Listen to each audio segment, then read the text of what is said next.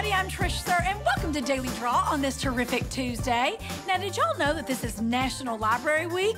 Got a favorite librarian? Well, honey, don't forget to thank them. Our producer, Ann, wants to send a very special thank you to her mama, Dottie, who is in Brockport, New York, and she has been the librarian there for 40 years. Now, that's a commitment to finding the perfect book. You know what I'm committing to? Giving y'all money. Is your name in the game? What are you waiting for, honey? Go to GameShowNetwork.com. I spin so you can win, and tonight you're playing for $200. Oh, honey, I hope it's you. Is your name in here?